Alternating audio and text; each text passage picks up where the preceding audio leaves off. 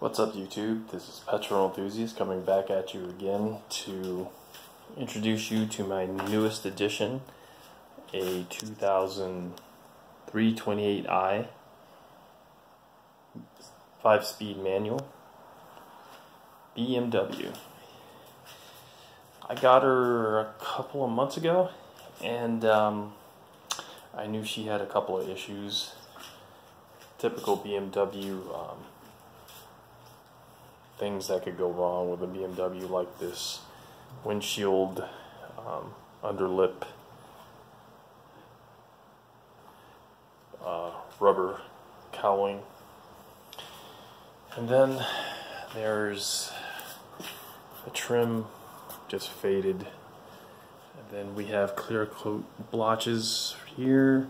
Here the roof the entire roof is um, pretty sun damaged and then the trunk pretty much the same. I mean I'm gonna try and restore the the paint back and replace the badging real bad. A 328 not a 325 they badged it wrong or they took the, the trunk off a 325 stuck it on here. Um, some clapped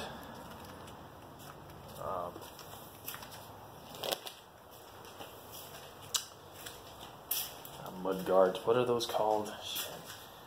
Um, but I got some new ones. I do have a lot of new parts that I want to put on this thing.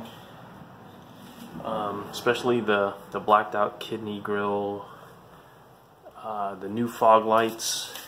These are kind of oxidated. Um, I got a bottom uh, lip splitter. It looked pretty good online, so you know it would fit this car. And again, this is not going to be a uh, project car. I'm just gonna try and make it my daily, but I doubt that's gonna happen. I'm gonna definitely get it to petrol spec. Um, she does have the new um, HID um, headlamps which come off. The plastic things come off, so I got, you know, the angel eyes and a rear little spoiler in the back and um, a new seat driver front sport seat since as you can see the front one is it's cracked, it's clapped. Overall, the interior just needs a little attention.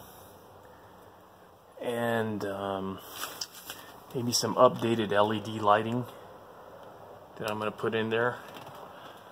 Unfortunately, the roof lining is coming apart. Uh, typical BMW. It does have a sunroof. And as I stated, the manual transmission. Overall, it was a pretty good pick, or a pretty good pickup for the price I got it for. Oops. And let me show you the engine. I just had um, German Auto, um, the guys that I usually go to service the car and um, take care of all the leaks and uh, seals that needed to be taken care of. So right now, currently, there are no leaks. I have a new uh, air conditioner compressor, oil seals, oil gas, oil gas can gasket uh, head gasket lining. They just replaced a lot of things that needed to be replaced, and the engine pretty much is you know brand new. I mean, I've never seen a, a car with this many miles. As she has over 200,000 miles on it, and still runs real good. and they weren't kidding about you know buying this particular uh, model with this engine. Any inline six is just um, bulletproof. So again, I'm going to start with you know the replacement of parts, um, changing, refreshing, and getting her up to petrol spec. And uh, that's what I hope I'll do today is get this entire thing done.